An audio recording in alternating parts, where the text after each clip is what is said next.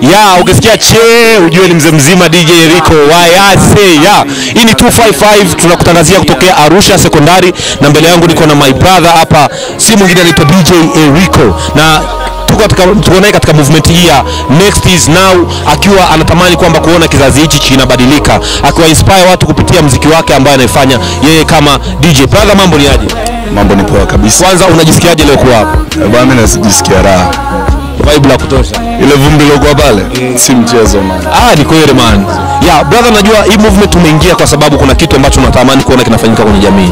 Ni kitu gani ambacho unatamani kuona kwenye maisha ya vijana?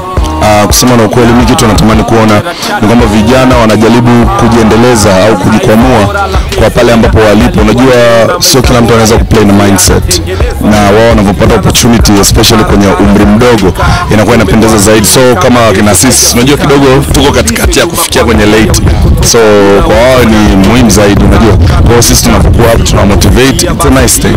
Una jambo gani kwa kijana ambaye anakutazama wakati huu? Eh bana, pambana ya hela yote Ya, yani pambana ya hela yote kama anavyokuambia brother Eriko. Hii ni A Town TV unaiangalia. Barikiwa sana. Ya.